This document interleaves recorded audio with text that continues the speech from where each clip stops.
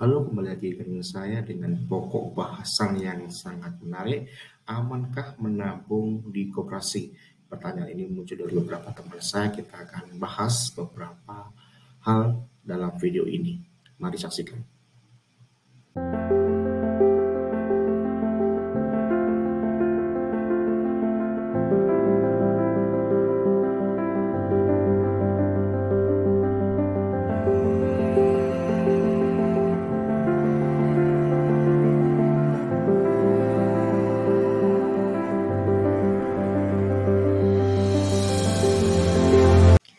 Yang perlu kita perhatikan dalam menabung, berinvestasi, atau semua hal dalam hal finansial adalah yang pertama kita harus uh, mengecek fundamental dari badan usaha itu. Kalau dalam hal ini koperasi, kita uh, cek bagaimana fundamental koperasi tersebut, bagaimana dengan aset-asetnya, bagaimana dengan hutang-hutangnya.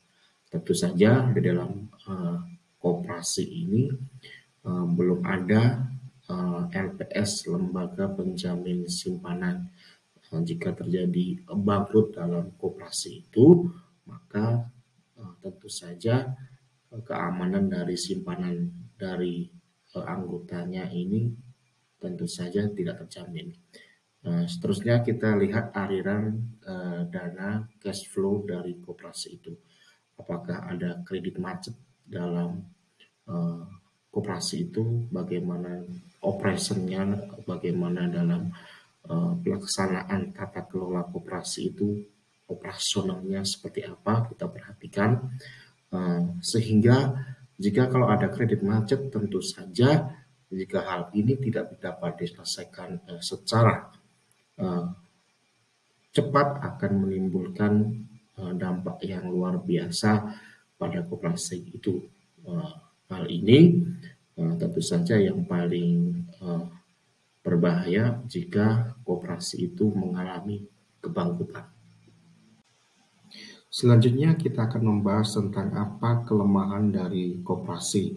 Yang pertama, kelemahan dari koperasi ini daya saingnya cukup lemah dibandingkan dengan bank-bank yang sudah ada, apalagi dengan bank-bank pemerintahan atau bank-bank BUMN bagaimana cara kerja mereka, bagaimana dengan pelayanan mereka, bagaimana dengan operation mereka, gimana dengan sumber daya manusia uh, yang dimiliki mereka. Koperasi ini sangat-sangat kalah dengan bank-bank yang sudah ada. Ya, selanjutnya tentu saja modalnya terbatas karena koperasi ini biasanya hanya mengelola keuangan dari anggotanya, tabungan dari anggotanya, simpanan dari anggotanya cukup terbatas.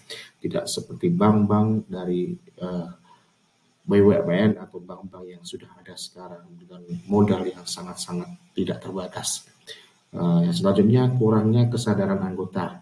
Kurangnya kesadaran anggota ini jika terjadi kredit macet, maka apa yang terjadi? Maka operationnya akan terganggu jika ini tidak bisa diselesaikan, tentu saja uh, akan menghambat kinerja dari koperasi. Maka uh, keuntungan dari koperasi pun akan uh, turun. Bahkan yang paling tragis, tidak jika tidak ada kesadaran anggotanya untuk mengembalikan pinjaman dalam waktu yang sudah ditentukan, tentu saja uh, yang paling uh, besar adalah koperasi ini akan bangkrut.